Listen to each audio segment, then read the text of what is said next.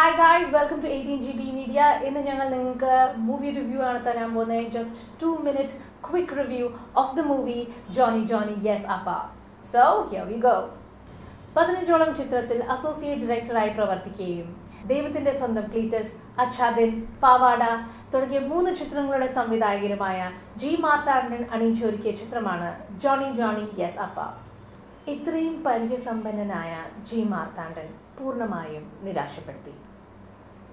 ശരാശരിയിൽ ഒതുങ്ങിപ്പോയ ഛായാഗ്രഹണവും. എടുത്തു പറയേണ്ട മേന്മകൾ ഒന്നുമില്ലാത്ത പശ്ചാത്തല സംഗീതവും ഒക്കെയായി.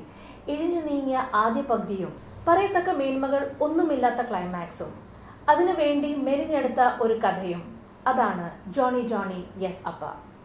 ആദ്യ പകുതിയെ അനുസ്മരിപ്പിക്കുന്ന രണ്ടാം പകുതിയുടെ പോക്കും തുടരെയുള്ള അനാവശ്യ നർമ്മ സീനുകളും ഒരു ലോജിക്കുമില്ലാത്ത കഥയിലെ ട്വിസ്റ്റുകളുമൊക്കെയായി രണ്ടാം പകുതിയും അവസാനിച്ചു.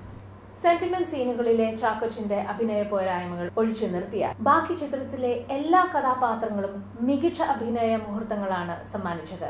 വിജയരാഘവൻ കലാഭവൻ ഷാജോൺ ഷറഫുദ്ദീൻ ടിനി ടോം അനു സിതാര ലെന ഗീത സനൂപ് സന്തോഷ് ബേബി അഖില മേഘനാഥൻ മമത മോഹൻദാസ് നെടുമുടി വേണു തുടങ്ങിയ മുഖ്യ കഥാപാത്രങ്ങളും എല്ലാവരും അവനവന്റെ ഭാഗം ഭംഗിയാക്കി തന്നെയാണ് കളം വിട്ടിട്ടുള്ളത്.